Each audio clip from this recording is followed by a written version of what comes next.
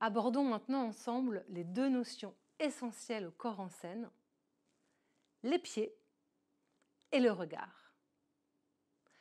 Quand je vous parle de pieds, je vous parle surtout d'ancrage. Quand je travaille avec des rappeurs, ils ont souvent cette tendance à traverser l'espace, beaucoup, énormément même. C'est très difficile de les faire travailler sur une immobilité. Pourquoi? Parce que rien faire, c'est le plus dur. Et pourtant, ne rien faire avec le corps, c'est ce qu'il y a de plus fort.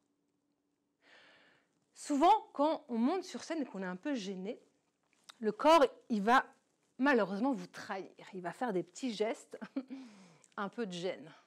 Qu'est-ce qui se passe dans ces cas-là? Eh bien, votre public regarde ces petits gestes. Donc, il n'est plus concentré sur votre message, sur votre chanson, sur votre danse. Donc, c'est à vous de lui indiquer quoi regarder. Pour aider vos élèves et vos participants à travailler sur cette notion d'ancrage, voici un petit jeu sur les différents sols possibles. Les participants marchent et proposez-leur d'imaginer que le sol est gluant, comme de la boue ou un gros chewing-gum. Oh, très gluant. Ah, ça colle de partout. Évidemment, ça va les faire rigoler. Et ça, c'est une bonne chose aussi. Et puis, ça va surtout activer les chevilles et les pieds. Donc, la notion d'ancrage. Changez de consigne et proposez-leur de marcher sur un sol glissant. Oh, avec une petite notion d'équilibre. Et là, il glisse sur le sol. Attention, encore une fois, aux petits malins qui voudraient faire le grand écart. Si ce ne sont pas des sportifs de haut niveau, soyez bien sécuritaires au niveau du corps.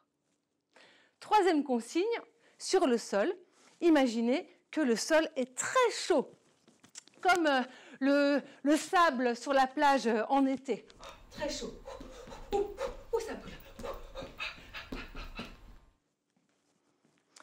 Voilà un jeu très facile, très ludique, qui va vraiment permettre à vos élèves et à vos participants de se concentrer sur leur ancrage et sur leurs pieds. La deuxième notion essentielle, c'est la notion du regard. Un petit cadeau comme ça, juste pour vous. À partir de maintenant, quand vos élèves ou vos participants ou même vous-même allez prendre la parole, gardez en tête que ce n'est pas votre public qui vous regarde, ce qui est toujours un petit peu impressionnant, mais c'est vous qui le regardez. Hmm. Je vous laisse réfléchir à cette notion parce qu'elle est d'une force incroyable. Quand vous êtes sur scène, c'est vous qui regardez votre public. Le regard, c'est un lien, c'est un lien de sincérité. C'est comme un fil conducteur entre vous et le public. Si vous le lâchez trop vite, vous cassez la relation. Pour ça, une proposition. Séparez votre groupe en deux. Un groupe qui regarde et l'autre qui fait. Ce groupe qui fait se positionne un peu en quinconce ou sur une même ligne. Demandez maintenant aux participants d'avoir un regard de bulle, un regard un petit peu sur soi. Un regard un peu gêné. Demandez-leur ensuite d'avoir un regard sur les autres. Ça, c'est ce qui se passe parfois quand on n'est pas très concentré. ensuite, demandez-leur d'avoir un regard sur le public, de regarder chaque personne du public.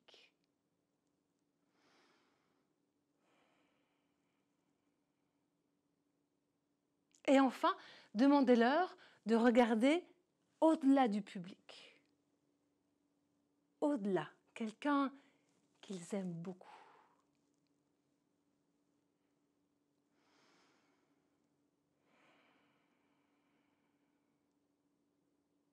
Une fois avoir expérimenté avec eux ces notions, demandez à l'autre groupe qui regardait de faire un retour sur ce qu'ils ont ressenti avec ces quatre regards. Et vous verrez que les résultats sont épatants.